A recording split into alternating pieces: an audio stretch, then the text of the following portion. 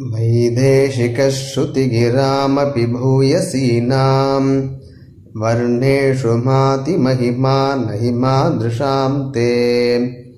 इत्थं विदन्तमपि मां सहसैव गोदे। मौनद्रुहो मुखरयन्ति गुणास्त्वदीयाः श्रीमते निगमान्तमहादेशिकाय नमः। श्रीमत्यै गोदायै नमः। அஸ்மத் குரு பரம்பராயை நமः ஸ்ரீ கோதாஸ்துதி இரண்டாவது பத்தியம் முதல் பத்தியத்தில் ஸ்ரீ நிகமாந்த மகாதேசிகன் கோதாம் அனன்ய சரணகா சரணம் பிரபத்தியே அப்படின்னு ஆண்டாள் அல்லது கோதையினுடைய சந்நிதியிலேயே இந்த ஸ்துதியை பண்ணாலும் இது ஒரு முறை. இந்த தேர்ட் பர்சன் சொல்லுவோம். நேராக துவாம் சரணம் பிரபத்தியன்னு சொல்லலாம். உன்னை சரணமடைகிறேன்னு சொல்லலாம். இருந்தாலும் அந்த தேர்ட் பர்சனில் சொல்கிறது ஒரு மரபு. அதை அனுசரித்து சுவாமி கோதாம்னு கோதையை சரணமடைகிறேன்னு சாதிச்சிருக்கார். ஏன்னா நம்ம குரு பரம்பரா ஐதீகம் பிரகாரம் ஸ்ரீவில்லிபுத்தூரில் ஒரு முறை நம் தேசிகன் கோதா பிராட்டியை மங்களாசாசனம் பண்ணப்போ அந்த சமயத்தில் மௌனம் மௌனமாக இருந்ததாகவும் கோதையினுடைய அந்த குணங்கள் இந்த இரண்டாவது ஸ்துதியினுடைய கருத்து இதுதான். கோதையினுடைய க குணாதிசயங்கள் சுவாமி தேசிகனை ஸ்துதி பண்ண வைத்தன. அதை சுவாமி வெளிப்படுத்துகிறார் ரெண்டாவது பத்தியத்தில். அதனால் நேராக பண்ணார். நேராக தான் அந்த ஸ்துதியை பண்ணியிருக்கார் மங்களாசன ரூபமாக இருந்தாலும் கோதையை சரணமடைகிறேன்னு பண்ணுறதுன்றது ஒரு மரபு. இப்போ கவிகளுடைய ஒரு தன்மை என்னன்னு கேட்டால் சிறந்த கவிகள் தாங்கள் பண்ணக்கூடிய ஒரு ஸ்துதியோ காவியமோ அதுக்கு முதல்லையே தங்களுடைய நெய்ச்சான சிந்தானத்தை வெளிப்படுத்துறது. ஏன்னா அது அத்தியாத்ம ஞானம். வேதாந்த ஞானம் ஊன்று இருக்குது நம்மளால் எதுவும் முடியாது.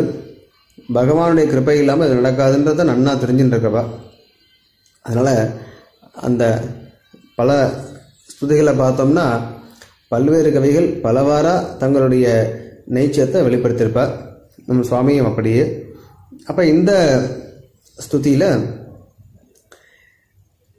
கோதைய சரணமடைஞ்சிட்டார்.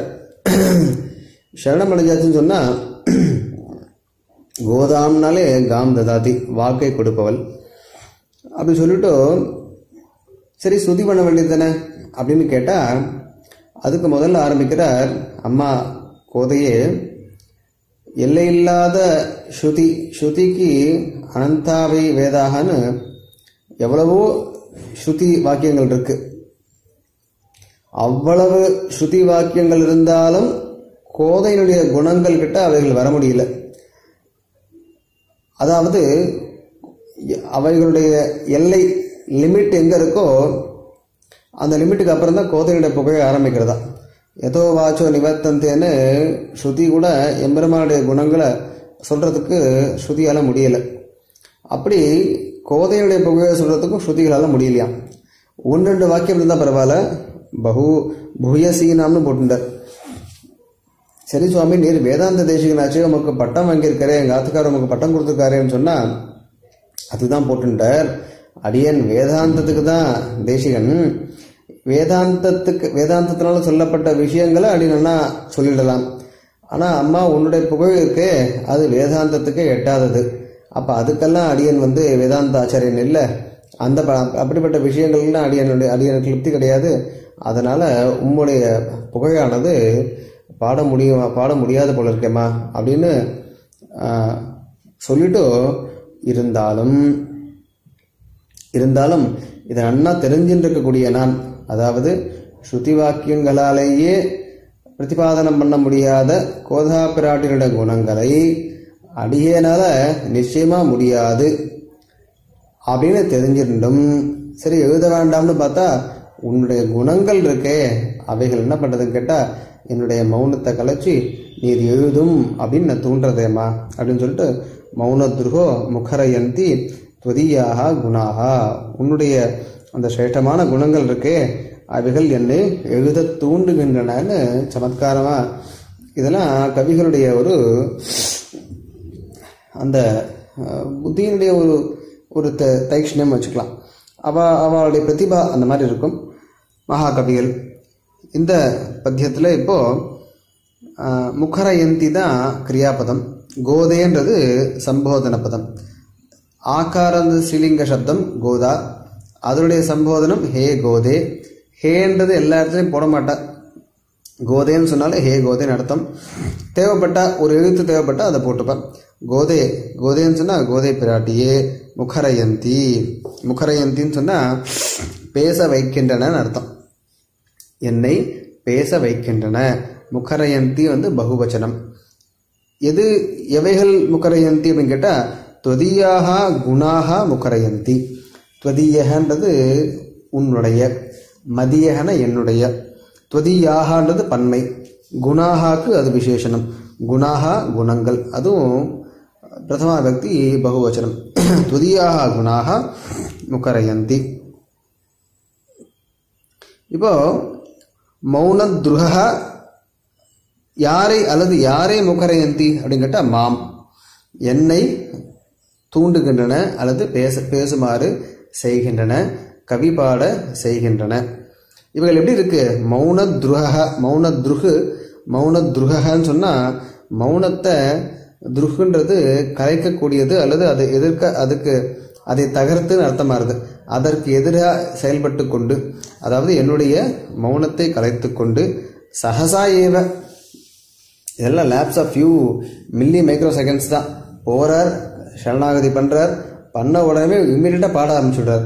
என்ன சுவாமி இப்போ தான் சொன்னார் பாட முடியாதுன்னு உடனே பாடுறேன்னு கேட்டால் அம்மா உன்னோட குணங்கள் இருக்கு என்னை பாடுமாறு தூண்டுகின்றன. நான் வேண்டாம்னு நினச்சா கூட உன்னுடைய குணங்கள் குண குணங்கள் என்னை கவி செய்ய தூண்டுகின்றன. இப்போ மௌன துருக சகசா ஏவ சகசான்னு சொன்னால் இம்மீடியட்லி உடனே. ஏவன்றது இன்னும் அதை எம்பசைஸ் பண்ணுறது உடனேயே அப்படின்னு அர்த்தமாகுது.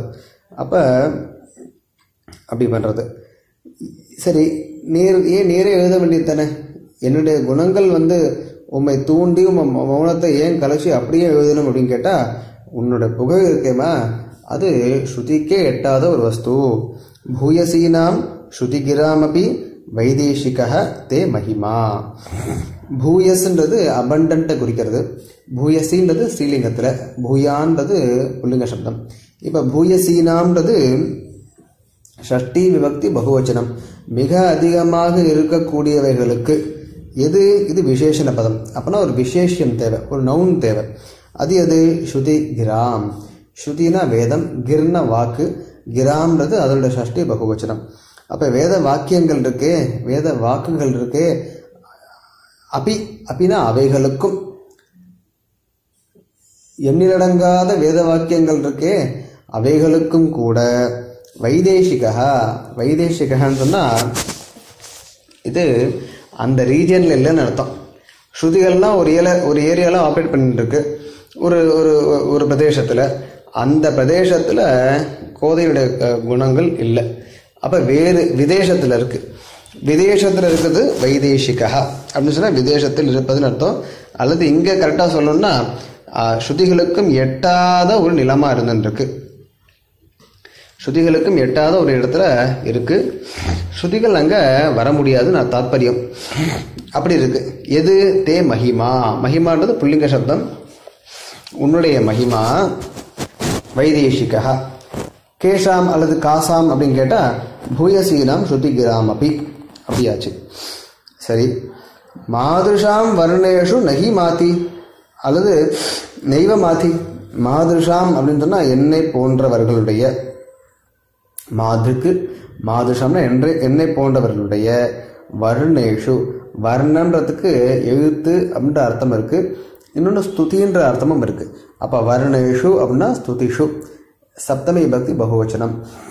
என்னை போன்றவர்கள்னு சொன்னதுனால என்ன ஆச்சு கேட்டால் ஸ்ருதின்றது அப்போ விஷயம் நான் ஒரு அற்ப மானுடன் என்னால் எப்படி முடியும்? அப்போ என்ன மாதிரி இருக்கிறவாளுக்கு? அடியேன் சிறிய ஞானத்தன் ஆழ்வார் சாதிச்சார் அது மாதிரி இருக்கக்கூடியவர்களுக்கு எங்களுடைய ஸ்துதிகளில் நகி மாத்தி.